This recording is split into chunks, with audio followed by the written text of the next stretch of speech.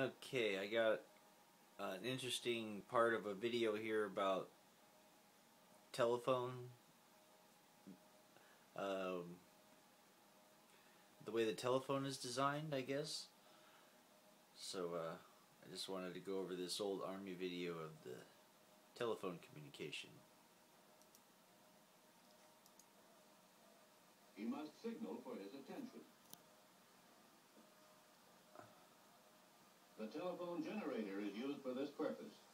Let's see how the generator employs the principle of magnetic induction in the creation of voltage to operate a suitable signaling device.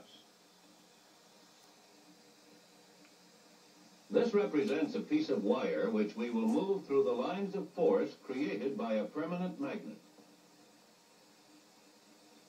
When a wire is moved through lines of force, a potential is induced in the wire which alternates as the wire is moved in or out. We can increase this potential by speeding the motion of the wire through the flux field created by the magnet.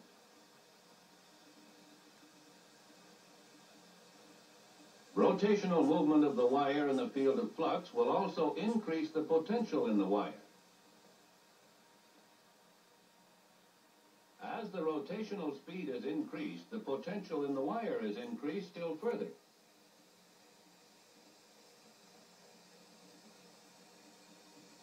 If we also concentrate the magnetic field by bringing the north and south poles of a magnet closer,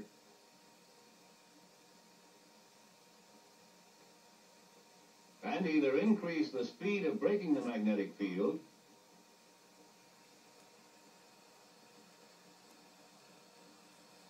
increase the number of wires rotating across the lines of force, we will have a generator.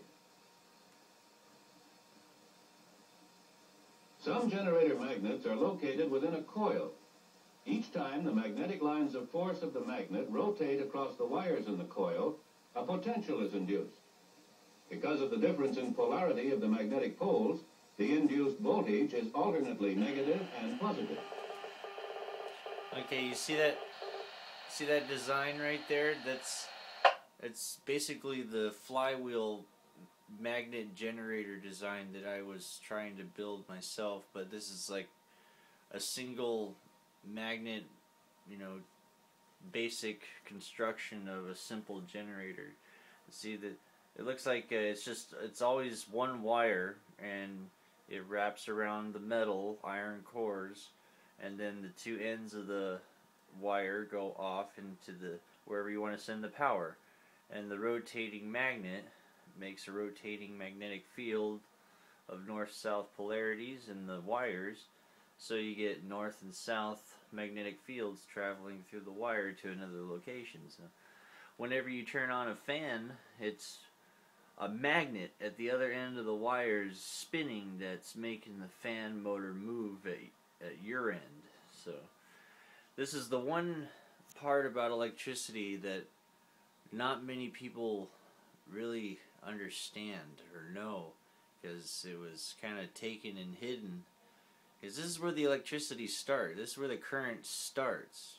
Like you get metal and a wire and a magnet and you start spinning the magnet and this is how the electricity current begins. This is how alternating current this is how the electricity gets to your wall right here.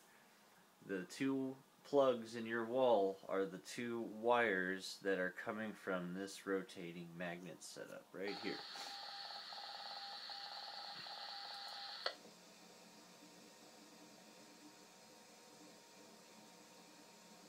When we connect this generator to our line, it will create a signaling current, alternating at approximately 20 cycles per second.